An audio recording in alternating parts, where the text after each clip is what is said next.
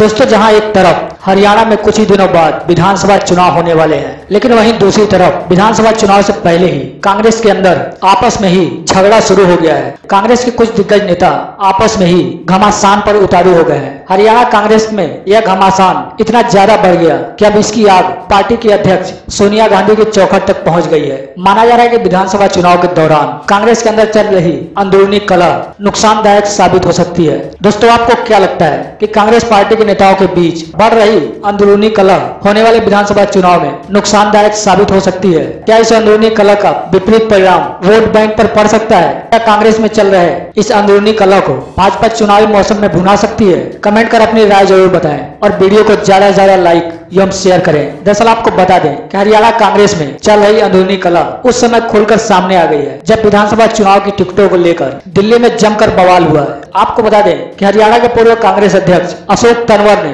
कांग्रेस पर बड़ा आरोप लगाया है। अशोक तनवर ने हरियाणा में कांग्रेस की टिकट पाँच करोड़ में बेचने का आरोप लगाया है। आपको बता दें कि अशोक तनवर ने दस जनपद के बाहर अपने समर्थकों को संबोधित करते हुए कहा कि टिकट का बंटवारा पैसे के आधार पर हो रहा है। हरियाणा कांग्रेस में पाँच करोड़ रुपए लेकर टिकट दिया जा रहा है। आपको बताया दें कि अशोक तनवर राज्य में हुए टिकट बंटवारों से नाराज़ चल रहे हैं। जिसके बाद उन्होंने कांग्रेस पर इतना बड़ा आरोप लगाया है। गौरतलब है कि पूर्व प्रदेश अध्यक्ष अशोक तनवर और हरियाणा के पूर्व सीएम भूपेन्द्र सिंह हुड्डा के बीच विवाद किसी से छिपा नहीं है। कहीं न कहीं इन दोनों नेताओं के बीच के विवाद खुलकर सामने आते रहते हैं। वहीं अशोक तनवर का कहना है कि हमने पिछले पाँच साल से हरियाणा में अपनी पार्टी को खून पसीने से सींचा है। हमने उस वक्त पार्टी के लिए अपना पूरा वक्त दिया और काम किया जिस वक्त राज्य में कांग्रेस सबसे बुरे दौर से गुजर रही थी। उनका कहना है कि हम पार्टी के लिए जुटे रहे, लेकिन आज टिकट उन लोगों को दिया जा रहा है जो हाल ही में पार्टी में शामिल हुए हैं और अभी तक पार्टी की बुराई करते रहते थे। हालाँकि अशोक तनवर ने भारतीय जनता पार्टी पर भी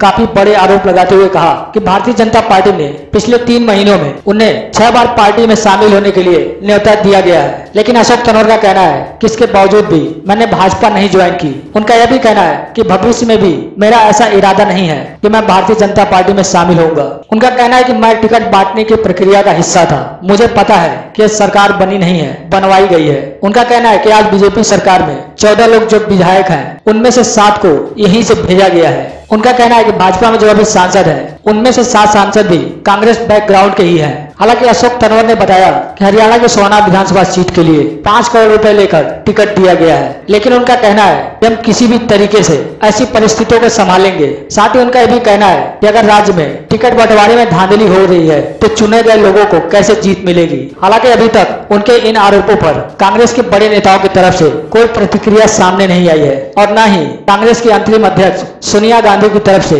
कोई प्रतिक्रिया सामने आई है, लेकिन उनके द्वारा लगाए गए आरोप कितने सही हैं, इस बात का खुलासा तो तभी हो पाएगा जब किसी कांग्रेस के बड़े नेता का बयान सामने आएगा।